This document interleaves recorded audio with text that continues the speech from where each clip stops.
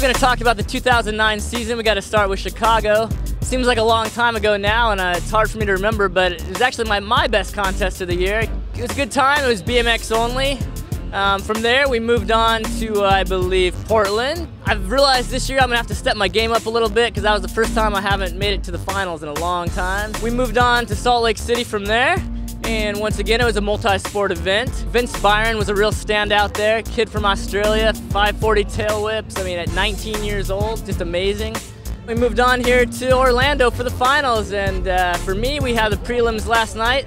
I've had the most fun here of any contest of the year. I rode great, I thought, but uh, you know, I didn't make it, so it's getting me motivated for the winter. I'm gonna go home, I'm gonna train. I think I'm still in the top 10 though. I think point-wise, I don't think anybody can knock me out, so I still think I'm in top 10 for Dew Tour this year. I just know I got to get some bigger tricks if I'm gonna, you know, continue to be in the top 10 for vert. Next week, I'm starting on a four-week trip to do shows. It's the Tobacco Free Kids Tour.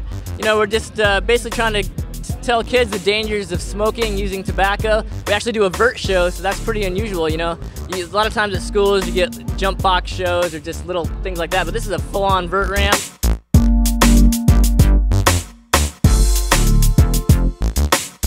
My Go211 fans can expect more updates. You know, I'm definitely going to be updating on this high school tour, some more photos, videos. Like when I go to Woodward, we'll do some updates from there, and uh, yeah, just keep keep everybody informed.